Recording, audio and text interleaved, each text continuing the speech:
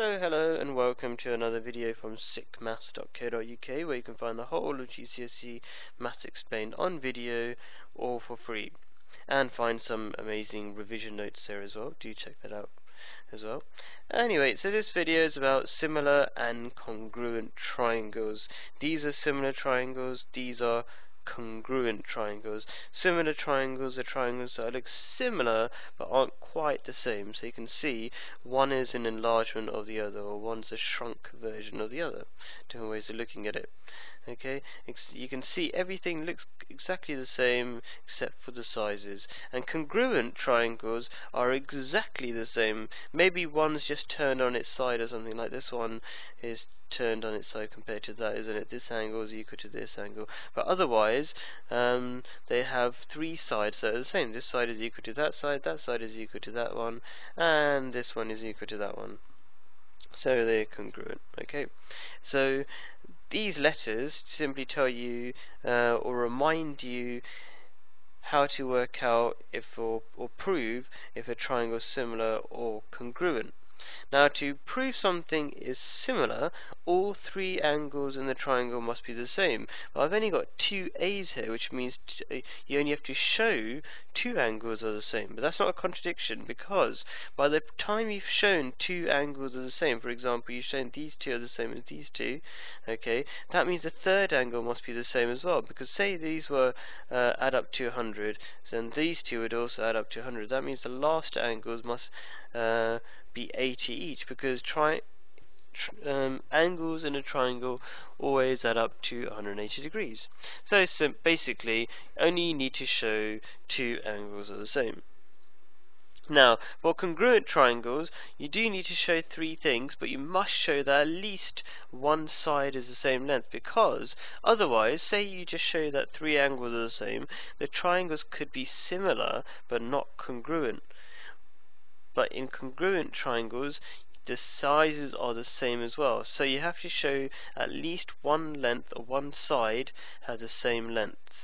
Okay, so um, any combination of three things, as long as you got one S in there, one length or one side is the same. So one side and two angles could be the same. So one side, okay, and two angles. So these two and these two, yeah, or some other combination. So two sides, this side and this side are the same, this side and that side are the same, and then you just show that one pair of angles are the same. Obviously, in this description I'm showing you everything's the same, but uh, when you come to proving it, that's all you need to show. Three things, including one side. Now, there are actually two different types of questions, one for similar triangles and one for congruent triangles. Similar ones, similar triangle type questions in the exam uh, for GCSE of course, um, basically ask you to work out the length of a missing side by comparing the triangles. And these questions I want you to show or prove that a triangle is congruent. Okay? Or maybe based on the fact that the triangles are congruent you might have to find a missing angle or something. But basically they're like this kind of question. Right. Um, so find the missing side in similar triangles. Well, first of all, you've got this simple situation. Once you've got this idea, you can do the other two anyway very quickly. Uh, you can see that one is an enlargement of the other. Okay, so that means there's something called a scale factor between the two triangles. Hopefully you understand what scale factor is, but I'll tell you very quickly. It's a number you have to times the length by to get to the other uh, triangle. So you have to times this length by a certain number to get to this length, and that same number, that same scale factor, will get you from this length times by that scale factor will give you this number. Okay, and the reverse is true. So if I got a scale factor from here to there, the scale factor, that same number same scale factor will get you from here to there. I'll show you what I mean. So 15 times my scale factor k will equal 10 and k is your typical letter to use for this topic so 15 times k equals 10 so the scale factor is 10 over 15 just rearranging which simplifies to two thirds so as I say k is the typical letter to use for proportions basically You'll see that in another in other proportion type videos on my website sickmafs.co.uk. Anyway, so my scale factor is 2 thirds to get from here to there. That means I have to do 6 times 2 thirds to get from 6 to x, which is what I'm trying to work out. Okay, and notice I've got the scale factor from here to here because I know I've got this information which can get me this information. And notice also I'm comparing corresponding sides. So this side corresponds to this side, this corresponds to this side, this is the shortest side, this is the shortest side of that triangle. Okay, so anyway, 6 times my 2 thirds should equal x, which is simply 4. So the length of x is 4. So, and that's it. That's how a similar triangle question goes. The other questions are basically hidden versions of this question.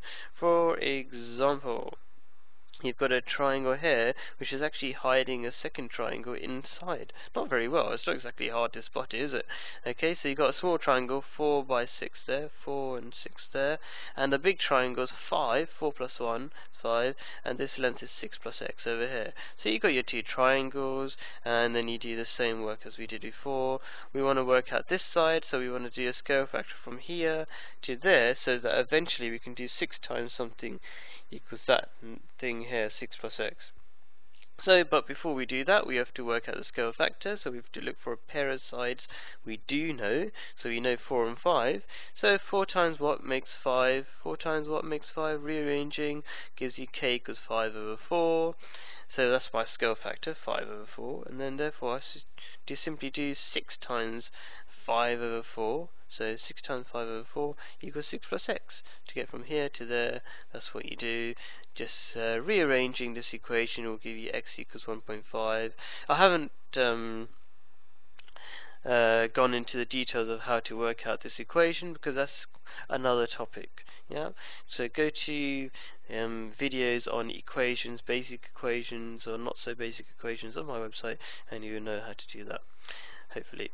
Now, Third example, again, just a hidden version of this. We've got um, two triangles between parallel sides and if you have this situation you'll know and if you know about parallel sides from my videos on sickmafs.co.uk this angle is equal to this, this angle is equal to this and this angle is equal to this and that is important because you then realize that if this angle is equal to this that means you have to spin it round to really compare them and of course you need to compare them to uh, compare the corresponding sides. You don't want to say a scale factor between this side and this side, you want a scale factor between this side and this side. And if you didn't know you have to spin it round, you might compare them wrongly. Yeah. So anyway, now I know that these two these two triangles, to compare them, I need to draw them like this. I can obviously see the scale factor from here to there is simply 2. 1 times 2 is 2, so the scale factor is 2. k is equal to 2. Therefore, 3 times 2 should equal y, which is 6, basically. So anyway, you've worked out the length of y. And that's similar triangle questions done. Let's do our little proof for congruent triangles and this is very typical in many ways. Okay and I'm going to show you typical tricks that come with this question. So um, you got an equilateral triangle. You're told that okay? And somehow you have to show that either a side and two angles are the same between these two triangles here or two sides and an angle or all three sides in these two triangles are the same. So if you can't see or understand this notation BDA um, and CDA. BDA is BDA, that's one triangle, and CDA, CDA is another triangle. You can see by measure, um, naming the corners, you've effectively drawn a triangle. Yeah, CDA, and you can go around again back to where you started, and you've got two triangles, but are they congruent? Well, look at our little tricks here. Since we know that these triangles are equilateral, you know this length is equal to this length. So AC is equal to AB. AC is equal to AB. That's one thing ticked. One side, as it says. Um, and here is a very common trick you can use. AD equals AD. That sounds strange. Obviously AD is equal to AD, but that's important for the proof because these two triangles share this one side. So by saying AD is equal to AD, that means there is another side that is the same length in both triangles.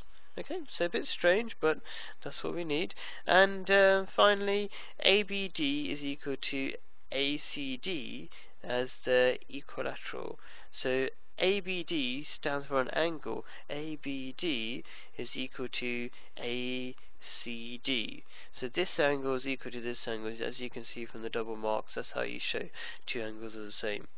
Anyway, and as is equilateral because um, all angles in triangles add up. Uh, sorry, are sorry. Let's start again every angle in an equilateral triangle is 60 degrees. So that's 60 degrees and that's 60 degrees. So that's it really. And um, since you've shown that two sides and an angle are the same, therefore it's congruent. Now you should say, this is a shorthand way of writing it, you should really say that um, AC equals AB is equilateral, therefore one side the same. Then AD equals AD, therefore another side the same, and blah blah blah blah blah, therefore another angle is the same, and therefore congruent. So instead of just writing SSA, you should actually maybe write a very short sentence, yeah? And that is it.